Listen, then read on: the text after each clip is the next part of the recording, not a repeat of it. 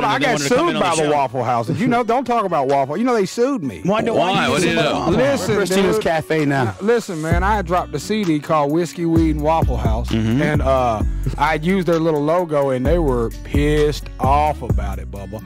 I'm talking about they sent me all kind of cease and desist letters. Well, they probably would be. I mean, it's a, it's a brand that they developed, and you kind of ripped it off. I mean, Yeah, totally, man. But I mean, goodness Did gracious. they, how much did how much ended up costing you? Uh, I just had to end up like I don't. It wasn't as much. I just had You to just put took a some attorney sharpie and you still eat- sharpie and blacked out the No, Waffle House You still eat there? They got your picture up. Don't let No, this no, guy in. I, I ate there once since they sued me, but I was I was real drunk, so it's a pain. Did you have those, uh, you know, those hash browns? They got them Oh scribbled, man, scrapped, and wrapped. listen, and, no, yeah. dude, that's not it. It's smother covered chunk.